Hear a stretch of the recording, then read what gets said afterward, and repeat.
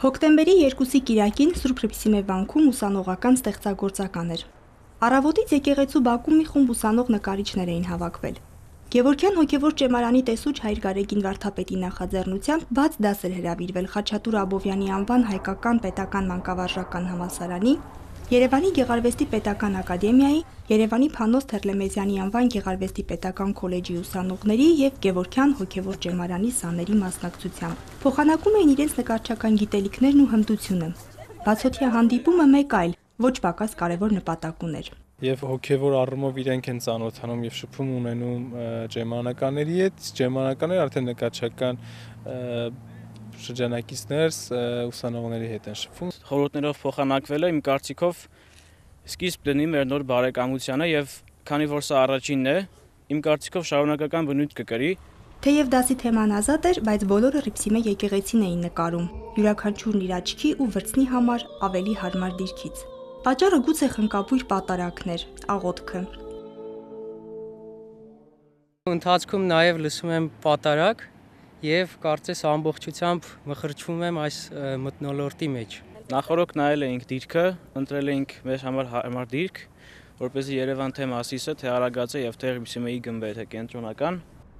Ուսանողները եկեղեցու բակում նկարելու հնարավորություն միշտ էլ ունեցել են, սակայն այս մեկը բացառիկ էր, ճեմարանի հրավերով ու պատարակին մասնակցելով։ Հանդիպման շարժարիթը հոգևորի հետ անմիջական շփումն էր, բայց ուսանողները լսարանային պայմաններում էլ հոգևոր մշակույթի հետ հաղորդակցվելու պակաս չեն ունենում։ Ուսանողների ստեղծագործական գունապնակն ու նկարչական տեխնիկան տարբեր են։ Միքայելի կտավում օրինակ կապույտն անսահման է, երկինքը մեղեդային։ Ամեն նկար կարծես իր երաժշտությունն ունի եւ հաճախ եմ օգտվում երաժշտության երաժշտություն լսելուց նկարելու ընթացքում։ Դա շատ է օգնում, որ դու ամբողջությամբ ներծծվես, ներքաշվես նկարի ոգու մեջ։ Պարզվում է դասախոսների համար եւս ոգեշնչման լավագույն հնարքը երաժշտությունն է։ Սևադա Սարգսյանին ներշնչում է բջջայինից հնչող դասական երաժշտությունը։ Ստեղծում այն հնարավորությունը գուցե որ կարողանաս ստեղծել այն ազատ միջավայրը, որը կոչվում է ստեղծագործունեություն իսկ կոնկրետ այդ գործառույթը իմ կարծիքով երևի թե միայն կարող է կատարել դասական երաժշտությունը։